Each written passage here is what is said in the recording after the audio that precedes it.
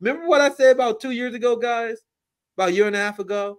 And I said, man, this, I don't know, the prediction might bite me in the ass. But I told you when the time when the right was marketing himself as anti-NATO, I was telling you guys that Trump is going to flip. I don't know when, I don't know how, I don't know how he's going to spin it, but I told you guys he was going to flip, which leads to the main story. Trump had a uh, had a fundraiser. And fundraisers are always fun when we get leaks because you know cameras are usually not allowed. So we got leaks in here.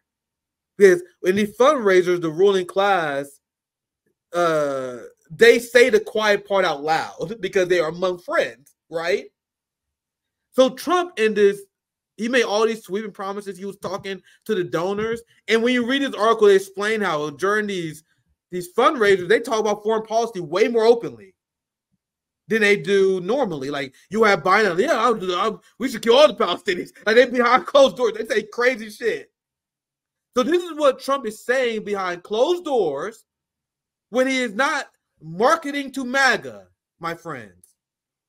Donald Trump says he will bomb Moscow and Beijing. And I have a hotspot video coming out on this, so I, I know it would directly say. He said, if I was president, when Russia invaded Ukraine, I would have bombed Moscow.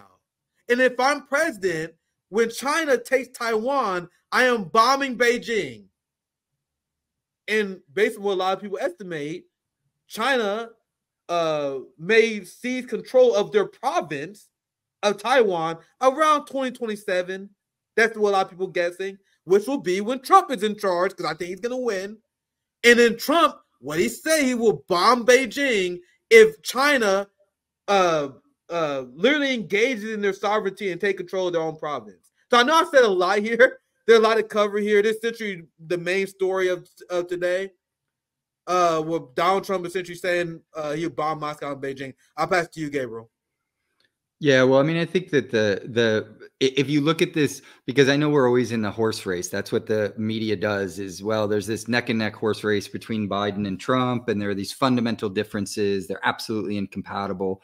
But if we look at this from the point of view of class analysis, we know that they're both pro-imperialist and they're both pro-capitalist, and they just have slightly different agendas to offer the ruling class. And in Trump's case, it is pretty clear that the principal war is the war against China, uh, because China is, uh, well, China represents an alternative model of global development. And China's economy has uh, continued to develop at a pace that makes the US economy look like a, a, a little bit of a joke. And so there's it's already based on purchasing power parity surpassed the U.S. economy, and it's likely that it will uh, surpass it in absolute terms relatively soon. Uh, in the Biden the case of the Biden administration, the war on China is on, obviously, with yeah. all of the pivot to Asia, but it's a, a war that they're trying to wage basically through these proxies right? Through Ukraine as a war against Russia, and Russia is ultimately a war against China. And so these are different imperial strategies, if you will. But the fundamentals are always decided upon by the bourgeois state managers who aren't elected, uh, who are just part of the US national security state and aren't subjected to democratic oversight.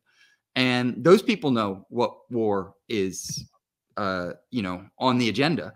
And so I think we have to look behind the kind of horse race of electoral politics to the deep functionings of the US empire. And there will be differences if, and I agree, I think that Trump most likely will come into office. Uh, so when he, he comes into office, there will be some significant differences. And he is known as being a bit chaotic and a bit like opportunistic, whereas Biden's asleep at the wheel and, you know, the agenda is pretty slow and steady as she goes. And so those can lead to significant differences. Um, but in any case, the the the fundamentals of U.S. empire building and its assault on uh, projects of self determination around the world, those are going to continue, uh, regardless of who's in office. It doesn't matter. This is Scott Ritter in response to this story. Um, and Trump has been very careful. I explained this before. Trump has been very careful how he messages Ukraine. I told you guys he's going to sell them out. You guys know he, he armed Ukrainian rebels. And let me read this tweet because I'm gonna also explain how the mainstream media. I noticed, and even look at the sources now. I'm gonna show you guys a, a source from Ukraine. There's a source from Moscow I use. There's a UK source I'm about to show you. I noticed that the liberal media is not talking about the story. I looked at MSNBC, CNN, nothing. You would think this would be something that they report on where Trump said he was bomb fucking Moscow. And I and I mentioned it during my hospital make today. Liberal media is not talking about this because it's directly it could directly contradict their Putin puppet narrative that they are running to this day. To this day, Gabriel, they're still running it. I know because I watch too much corporate media. I way more than that something. I read too much of the corporate articles. I literally see them say that Trump is working for Putin in the year 2024 on 5:30. They still say it, so they don't report on this stuff. You know, the same way they don't report on the fact that Trump approved the CIA uh, uh, attacks on Russian infrastructure. How Trump mm-hmm. pulled out of a nuclear arm treaty with Russia, would dated back to the Cold War.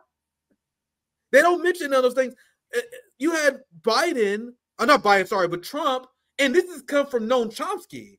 Noam Chomsky said Trump is one of the most anti-Russian presidents, and you can make an argument since Bill Clinton, but one of the most anti-Russian presidents of my lifetime.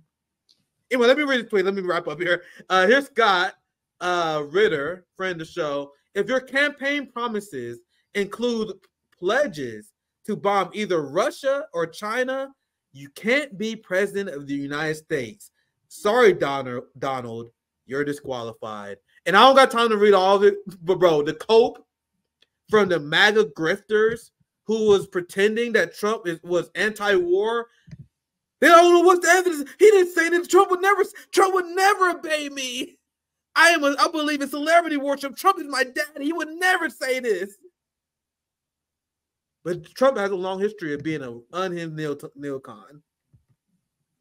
Not only this, we have Milley who prevented Trump from misusing nuclear weapons. You had John Bolton and his generals that allegedly talked Trump out of launching a ground invasion to Venezuela. Here's another quote from Trump. U.S. should put Chinese flags on F-22 jets and bomb the shit out of Russia. Look at the date here. March 2022. So when that you guys see how I get very frustrated and very upset when I see people hint, and I'm looking at you, Russell Brand. When I see people hint, I'm looking at you, Tucker Carlson. When I see people hint that Trump was ever anti-war, Trump believes in the ideology of Ronald Reagan and standard neocons a peace to strength. That's what they say all the time. He just said it last week. I believe in governing through peace to strength, which means sanctionings, escalating tensions, and hoping the other side back down, which is not what a pro-peace candidate does. Oh, I promise I was done. Here's another one. Donald Trump says he will. Well, this is the recent story I just covered. Uh, you gotta see. You gotta go to all these foreign website Pravda. This one is from Kiev this website here. Uh, what's this? This is an England website. Well, so once again, this is an uh, observation. Liberal media is not covering this story, which I think is kind of funny.